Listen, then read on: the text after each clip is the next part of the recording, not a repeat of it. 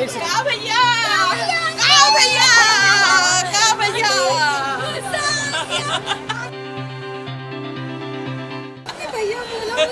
अब तो प्यार का है ना का भैया तो बस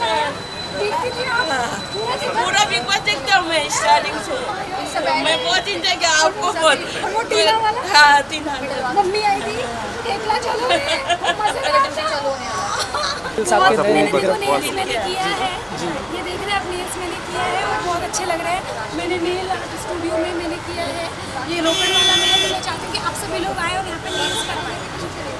अर्चना जी जो मैं आपका आज अब देख रहा हूँ काफ़ी चुलबुली और शरारती सी लड़की और उसके बाद में जो आप बिग बॉस में दिखी चुलबुली देंगे। जो आप बिग बॉस जी। आप बिग बॉस में दिखे। तो असली अर्चना कौन है? जिसको मैं आज देख रहा हूँ या जिसको मैंने बिग बॉस में देखा? दोनों ही सेम है।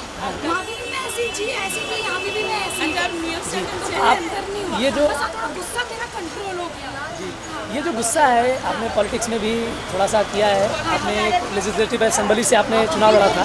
तो ये कहाँ से आया? आपको कैसे मिला ये? नहीं नहीं देखो गुस्सा हर इंसान में होता मेरे अंदर नहीं सबके अंदर कोई दिखा देता कोई अंदर रखता।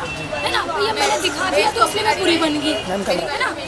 मैंने गुस्सा दिखा दिया तो मैं बुरी बन गई। तो बट जो है तो है। मैंने पहले बोल दिया उसको कंट्रोल नहीं करती मैंने किया बट मुझे भी बाद में पता चला कि जो मैंने गुस्सा किया, उसमें भी लोग हंसे मतलब तो मुझे बड़ा मज़ा आया कि चलो जो भी है अच्छा। अच्छा जो नॉर्मल लाइफ है बाहर की और बिग बॉस के अंदर की, उसके बारे में कुछ शेयर करिए एक्सपीरियंस आ देखो बिग बॉस में एक बंद अ, कमरा था बंद रूम था तो वहाँ पे वो सोलह लोगों के साथ बात करनी पड़ती थी। यहाँ पे बहुत लोग अलग से हैं बहुत लोग इधर से हैं उधर से हैं तो सब लोगों से बात करनी होती है। तो इस वजह से सब लोग अलग अलग मतलब मज़ा आ रहा है यहाँ पे सब लोग प्यार कर रहे हैं। बिग बॉस से बाहर आने के बाद फैंस का प्यार देख करके आपको क्या महसूस हो रहा है? कैसा लग रहा है? ऐसा लग रहा है बस कि मतलब मैं कहाँ आ गई? मतलब मेरी ज़िंदगी चेंज हो गई ऐसा लग रहा है। अच्छा बिग बॉस से बाहर आने के बाद अब अब, अब जनता आपको और वापस कहाँ देख सकती है? आने वाले कुछ पता नहीं देखते हैं कि क्या क्या सोचा है चैनल ने क्या सोचा है एंडेमोल ने क्या सोचा है डायरेक्टर्स ने क्या सोचा है और भी प्रोडक्शन हाउस ने देखते हैं क्या मिलता है। अभी आपका क्या प्लान है मेरा अभी प्लान तो कुछ नहीं है अभी तो फ़िलहाल मैं कल जा रही हूँ मेरठ अपने क्षेत्र में वहाँ देखते हैं क्या भोकाल आता है।